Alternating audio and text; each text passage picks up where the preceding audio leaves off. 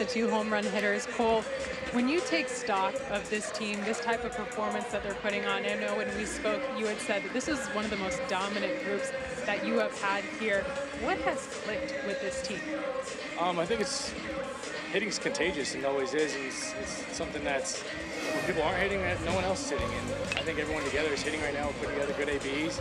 Um, and we kind of just feed off each other, feed off the energy, feed off, feed off everything that's uh, going on in the dugout and the clubhouse, and we're able to put together on the field.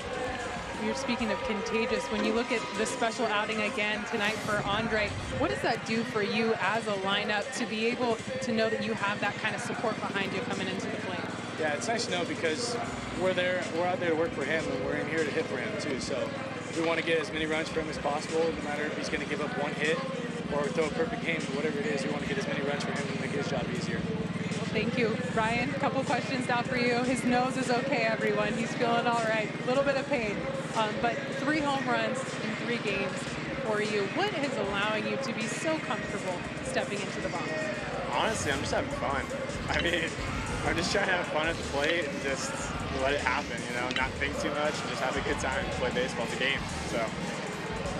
How do you guys bring this momentum into tomorrow to really close out this series? Uh, same energy. Just bring the energy we've had the last two weeks and just lean on the guy next to you. I know Rosh is going to come out and throw the ball well, and we're just going to keep having fun. Good. Thank you. Appreciate it. Good luck tomorrow. Guys, back to you. Thank you, Megan. Chris, big performance.